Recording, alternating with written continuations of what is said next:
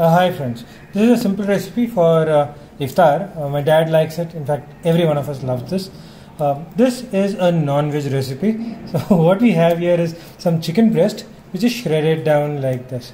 Okay, so what uh, we did for the chicken breast was two chicken breast, uh, a cup of water, a teaspoon of uh, turmeric, half a teaspoon of turmeric powder, a few uh, black peppercorns, and uh, green chili, and we let it pressure cook. Um, for about 10 minutes without the weight on top of it.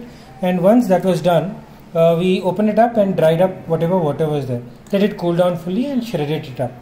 Then uh, we sliced these onions really thin. Um, put a little bit of salt on the onions and uh, green chili which uh, we slit like this right?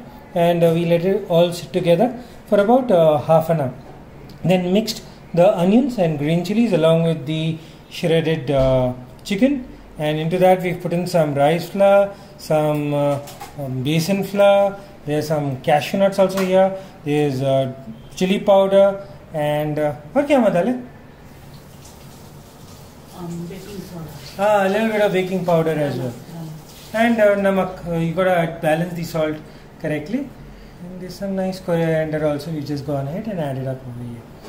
So this is um, strictly speaking you can add anything you want. The uh, funda behind this cooking is you need to put the onions in a little bit of salt for at least half an hour. That's important. That draws out the moisture from them and uh, the when they fry they become a lot more crispy than if you had just used raw onions as they are. So let's give it a good mix. And there's one more secret ingredient into this. So this is going to be fried right? So you're going to have a little bit of hot oil. Get a little bit of that hot oil and you pour a tablespoon or two more uh, about a tablespoon or two of that hot oil into this and use that to mix it up really well. Okay i'm just mixing it up.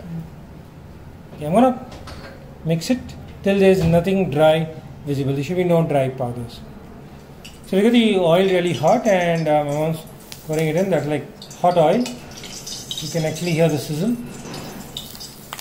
Okay now this very carefully go ahead and start mixing it up so okay. So this actually allows the I have no idea what it does chemically but it makes a huge difference in the way this mixes together.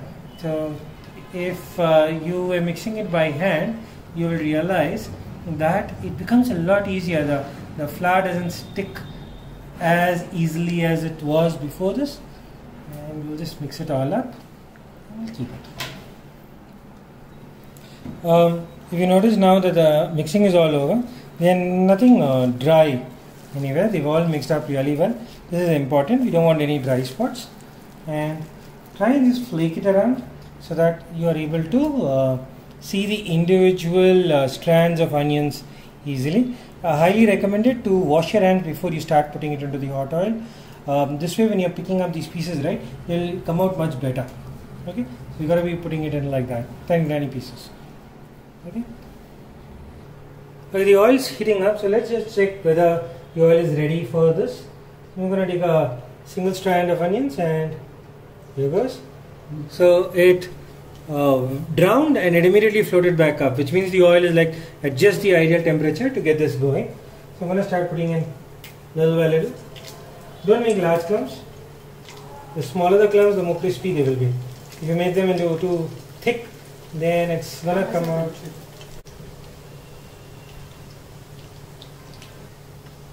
Okay, so they look like they are now ready to come out.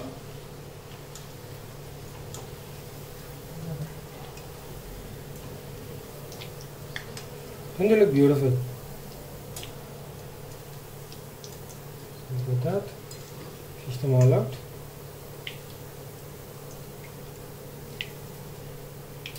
How does it look? Does it look crispy and golden and beautiful? hey, there are the piece left out there. Yep. Uh, this is ready. Uh, get them out into a plate uh, lined with a tissue or something because that will help soak out the excess oil. But before you do that, always remember to hold it on top of the oil for a couple of uh, seconds and give it a nice shake so the excess oil can drip down. See, you can actually see the oil dripping down. This is the oil which will otherwise get wasted on that uh, tissue paper vapor.